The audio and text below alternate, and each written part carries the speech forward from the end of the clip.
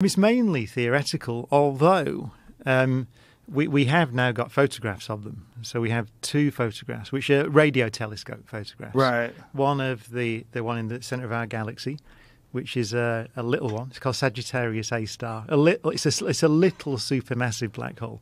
So it's about six million times the mass of the sun, which makes it a little supermassive. and then there's another one. The first photo that was taken. It's a collaboration called Event Horizon, and they took a, a photo of one in the galaxy M87. 55 million light years away. That thing is around 6 billion times the mass of the sun. I mean, imagine that 6,000 million times more massive than our sun. Is that the largest black hole we've ever discovered? No, there, there are bigger ones than that, but that's the, the, the that, that's the scale of them. It's a big-ish one that.